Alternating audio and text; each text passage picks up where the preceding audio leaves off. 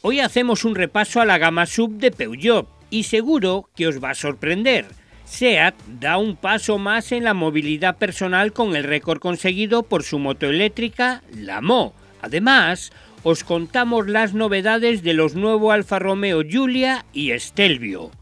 En nuestro banco de pruebas, nuestros probadores se han subido al Audi Q3 35 TDI y os contamos sus impresiones.